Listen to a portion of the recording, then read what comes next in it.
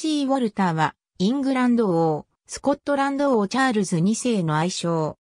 ウェールズでリチャード・ウォルターの娘として生まれた。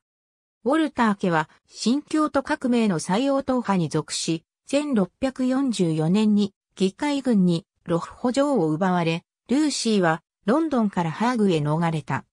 彼女はつてを頼ってロンドン社交界へ入り、17歳でアルジャーノン・シドニーの愛称となった。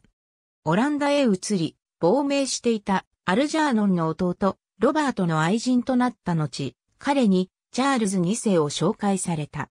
彼女はチャールズ2世の最初の愛人ではないと言われているが、1649年にモンマス公、バクルー公となる息子、ジェームズを産んだ。2年ほどで二人の関係は終わり、ルーシーは生活に貧窮して1658年にパリで死んだ。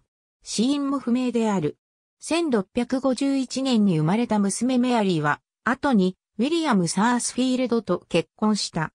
ルーシーの息子モンマス公、ジェームズの家系は、現在も続き、元ヨーク公爵夫人セーラ・ファーガソン、ベアトリス・オブ・ヨーク王女とユージェニー・オブ、ヨーク王女は、彼女の血を引いている。ありがとうございます。